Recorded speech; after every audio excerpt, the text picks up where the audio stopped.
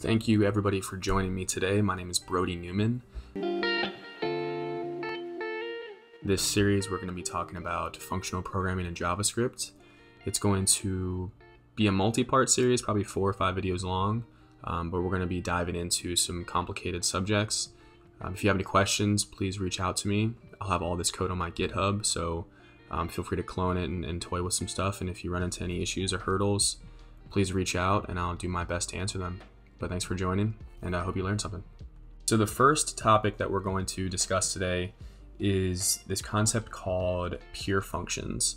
And before I dive into pure functions and before I start writing out some code examples, I wanted to talk about this idea of declarative programming. And I'm sure many people have heard of declarative programming before, um, but I'm going to give my kind of definition of it. And I'll have a link below because I'm probably going to butcher the explanation, but this is what kind of makes sense in my head. But declarative programming, in my mind, is a way of writing your logic and basically describing the flow of your applications in a way that the applications can be read like a poem. Imagine you have a, a program that's very imperative. Um, I guess you can compare it to like C or Go. Uh, in a way that you have to read the functions and dive into the logic to really understand what's going on. And if you write your programs in a declarative way, the function names and the order of logic will be able to explain how things are processing for you without having to dive into those functions and read through the logic, if that makes sense. So the concepts in these in these videos are going to allow you to slowly introduce these concepts into your code base so that you can start building applications in this declarative approach. The first topic we're going to talk about today, like I said, is this idea of pure functions.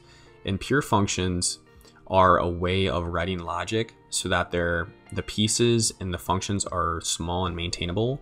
They're reusable, they don't mutate anything outside of the function scope, and most importantly, they're extremely testable. And that's what's super crucial about building functional applications. The pieces are very modular, they're very easy to understand, they're very easy to assert on, so that you can start building and abstracting your logic and piecing together more complex applications in a way that you're reducing the potential for error prone logic, if that makes sense. I'm going to start by coding out a few examples of some impure functions so that you get an understanding of what you should look for and what you should keep in mind when writing good pure functions. The first example that I'm going to write out is going to be a function that is going to be accessing a variable outside of the function scope. And please feel free to follow along with me in these examples. And like I said, if you have any questions, please reach out and I'll answer them. So I'm going to start by creating a variable here called array. And it's going to be a simple a simple array is going to have two strings in it. So I'm going to have there and hello. And below that, I'm going to write out a function called reverse array. Can't type. And this function here is going to be accessing this array right here. And it's going to be calling the reverse method on it. And then it's going to join it back together with a string. So ideally, if I console log this and I do reverse array and I switch, switch into my terminal, and I run node pure.js, I'll see hello there. And this might seem fine, and it might be fine for your application, but if we go ahead and add another console log right below that, and we see what happened to this initial array, we should see something interesting. So if we look here, we initially created the array with two strings of there and hello, but you can see that after this function invocation here, it actually mutated that array and switched those strings around. Now this may not seem like a big issue just because the array here that we're mutating is inconsequential, but in the bigger picture, when you're when these subtle mutations are happening, it's a great way to introduce bugs in your logic. I promise you, there's been many occasions where I've jumped into a code base and stuff like this was happening, and I would spend a ton of time debugging and trying to figure out what was going wrong. So it's great just to keep this in mind, keep this idea that you should be copying things and creating new structures so that you're avoiding mutations at all cost. One simple way we can fix this reverse array function would be to basically create a new array or create a new function here called reverse array. And instead it's going to take in a parameter of the array. So I'll actually name this different just so it's not confusing. But what we're going to do is we're going to actually copy that array by spreading it into a new array. And then we're going to call reverse and then dot join. And you'll see that the fact that we're copying this, so I'll go ahead and actually pass this initial array into that function, but since it's spreading those values into the new array, that it's not going to be mutating that initial array outside of here. So I'll go ahead and run node peer.js. I don't know why I keep typing purse. But you'll see hello there is our expected outcome. And their hello is still maintained up here and, and not changed and not mutated. Another great way to tell if your functions are pure is if the function, if it's invoked a million times, a number arbitrary, but if the function is invoked over and over again, it should produce the same exact result every single time. One thing that I want to point out is that it's going to be hard avoiding mutation 100% of the time.